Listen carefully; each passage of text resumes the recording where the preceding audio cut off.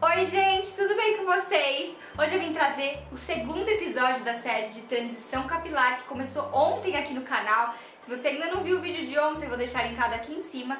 Terão vídeos todos os dias sobre transição essa semana, até domingo, então se inscreve aqui embaixo para você não perder os vídeos. Hoje eu vim conversar com quem tá querendo entrar nesse universo do cabelo natural e não tá entendendo nada.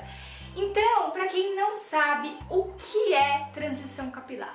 Transição capilar, gente, é quando a pessoa quer parar de fazer química no cabelo, quer parar de alisar e quer deixar o cabelo dela voltar a ser natural. Então ela vai fazer a transição do cabelo alisado ou quimicamente tratado, que pode ser também com permanente, relaxamento, para o cabelo natural. Lembrando que aqui também se enquadram meninas que passaram anos ou meses é, fazendo escova ou chapinha diariamente ou periodicamente, porque é comprovado que as fontes de calor também mudam a estrutura do fio. Então se você passou chapinha, escovou durante anos, ou às vezes, dependendo do cabelo, por meses, o seu cabelo pode ter mudado a forma dele. Então você também pode considerar que está passando por transição capilar. Eu perguntei lá no Instagram se vocês tinham dúvidas sobre esse tema e surgiram algumas que eu vou responder ao longo dos vídeos da série. E uma das perguntas foi, mas Bru, como eu começo a transição? Gente, você começa a transição a partir do momento que você para de alisar o seu cabelo ou para de usar a química ou a fonte de calor até, né? Então você parou, você começou a transição capilar, você não precisa fazer mais nada, só precisa parar de agredir o seu cabelo, de fazer ali a química, tá? A partir desse momento você já está em transição capilar, certo? Então eu já sei o que é, como começar, mas e agora? Como que eu vou passar por essa transição? Como aguentar esse cabelo indefinido, judiado, com as duas texturas? Gente, existem várias formas. Pra ser bem clara e sincera com vocês de início, o seu cabelo em transição, ele não vai ficar bonito, ele não vai ficar definido, não vai ficar legal, é normal, o seu cabelo ele está agredido, ele está com duas texturas, não tem como ele ficar bonito. Você vai ter que dar um jeitinho e aguentar ou cortar de uma vez pra passar por essa transição, tá? Então vocês têm que ter paciência. Esse é um momento de muita paciência e muito autoconhecimento também. É um processo muito difícil, não é fácil, tá? Não vou dizer que é fácil, que o seu cabelo vai ficar legal, porque não vai. Isso mexe com a autoestima, eu sei como é que é. Então, sim, é um momento muito difícil e precisa de um esforço para passar por ele. Então, como eu posso passar a minha transição capilar? Eu posso fazer aquelas tranças Nagô. Se você não quer ficar com as duas texturas, você pode fazer isso. Você pode usar texturizações para o seu cabelo ficar todo cacheado. Isso para quem tem paciência, porque eu não tenho muita. Então, na minha transição, por mais que eu soubesse que eu estava, eu não ia dar conta de fazer isso. Mas quem gosta de fazer é uma opção, sim, porque aí você disfarça as duas texturas, tá? Eu não tenho nenhum vídeo aqui no canal sobre texturização, porque na verdade eu nunca fiz, mas vocês encontram muito fácil aqui no YouTube, digita texturização, com coquinho, com bigodinho, tem vários tipos, tem até com é, papel higiênico, tem vários jeitos de fazer com que o seu cabelo fique... É, a ideia é deixar ele cacheado, mesmo a parte que tá lisa, sem usar fonte de calor, tá? Você pode passar babyliss, você pode passar, mas aí você vai entrar naquele quesito de agressão, né? Então se você conseguir fazer sem usar fonte de calor, vai ser muito mais legal. Você pode passar a transição fazendo coque, fazendo penteado, fazendo trança, usando o cabelo preso, alguma forma que dê uma escondida naquelas duas texturas. Além dessas formas, gente, tem a forma com que eu passei minha transição. Não é a melhor forma? Não é a melhor forma. Mas é uma opção sim, que é você passar escovando ou passando chapinha no seu cabelo. É, tem muita gente que achou ruim quando eu falei isso em um vídeo aí que eu já fiz sobre transição capilar, mas eu defendo a ideia de que a gente tem que passar a transição da forma que a gente acha melhor, com que a gente vai sofrer menos, de uma forma que a gente se sinta confortável. Como eu disse, não é fácil, não é fácil aguentar o julgamento das pessoas, os olhares tortos, o nosso cabelo se sentindo, a gente se sentindo feia porque o nosso cabelo tá feio. Nada disso é fácil. Então, se eu puder minimizar esse sofrimento de alguma forma e eu quiser passar a minha transição escovando, eu posso. É uma opção. Mas é uma opção que vai te trazer danos. O seu cabelo vai ficar danificado porque você escovou o seu cabelo durante a transição. Mas não deixa de ser uma opção, tá? Então, se você optar por isso, é, tenha em mente de proteger ao máximo o seu cabelo, usar sempre proteção térmica quando você for escovar.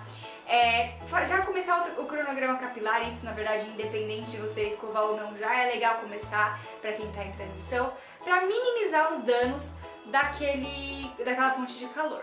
E como eu falei agora, cronograma capilar. Uma grande dica da transição capilar é já comece a cuidar do seu cabelo. Hidrate ele muito que ele está precisando, porque depois de tanta química, o seu cabelo com certeza está precisando de muita hidratação e de muita nutrição. Reconstrução é importante? É, mas a nutrição e a, e a hidratação são mais. Então, gente, é, hidrate bastante seu cabelo, faça bastante umectação, que também vai ajudar naquele aspecto não tão legal do cabelo em transição. O cabelo vai continuar com as duas texturas, mas ele vai ficar mais saudável, mais bonito, mais brilhante, mais bem cuidado. E aí, essa parte muito sem forma pode dar uma forma um pouco melhor com esses cuidados. E claro, super mega recomendo o Low ou o No Poo, porque aí vai ajudar ainda mais a saúde do seu cabelo. E agora, como a minha transição pode chegar ao fim? Quando e como eu faço para acabar com a minha transição capilar? Quando é que ela termina? Gente, a transição capilar termina de duas formas, tá? Você pode ir cortando o seu, o seu cabelo durante a transição. Você vai fazendo pequenos cortes, cortando as pontinhas, cortando dois dedos, três dedos, até acabar com toda a química. Quando acabou toda a química, o seu cabelo está 100% natural e acabou a sua transição capilar. Ou você pode cortar de uma vez toda a parte lisa, acabar logo com isso, que eu sou super a favor, e fazer o Big Show, que é o grande corte, é o corte de toda a química. A gente vai falar um pouco mais sobre ele no vídeo de amanhã, mas para adiantar essa parte que é quando a transição capilar acaba. E aproveitando esse tópico, é muito, muito, muito importante dizer que não existe nada, não existe nenhum produto, não existe nenhum jeito de tirar a progressiva do cabelo. A progressiva ou qualquer química de transformação como o nome diz, ela transforma o seu cabelo. Ela transforma a estrutura do seu cabelo, ela modifica a estrutura. E isso é irreversível. Então, por favor, não caiam em história de lavar com shampoo anti-resíduo, porque não tira. Já tentei, gente, já tentei, confia em mim, não funciona. Não adianta lavar o cabelo todo dia, lavar com anti-resíduos. Não existe desprogressivação, detox de progressiva. Todas essas empresas Empresas que prometem tirar a progressiva é cilada, não caiam nessa, porque pode ser muito pior.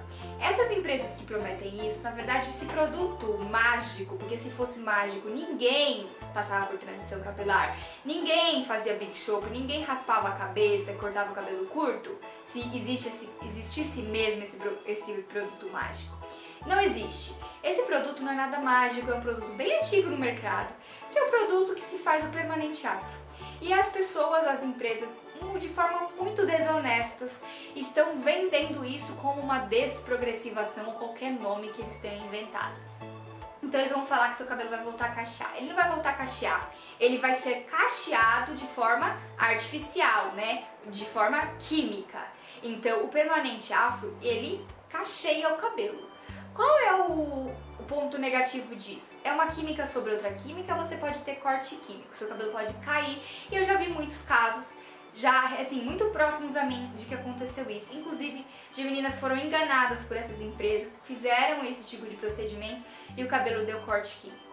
Além disso, você vai estar tá em transição da mesma forma, porque o seu cabelo natural vai crescer, ele vai ser diferente desse cacho artificial, não vai ser o mesmo. Então vai ter duas texturas da mesma forma. Se é essa a opção que você quer escolher, ok, mas que você escolha sabendo e não seja enganada por uma empresa que te diz que vai tirar sua progressiva, porque isso não existe, é só cortando. Então se você quer que a sua transição acabe mais rápido, uma única solução, vitamina T, tesoura, só cortando tá? Então, essas foram as informações que eu queria passar pra vocês hoje. Então, até o vídeo de amanhã que a gente vai falar sobre o Big Shop, como é que o cabelo fica depois, e tudo mais, que as dúvidas que vocês deixaram pra mim, tá bom? Espero muito que vocês tenham gostado. Deixa o seu like aqui, por favor. Não se esquece de se inscrever no canal. E até amanhã. Beijo, tchau!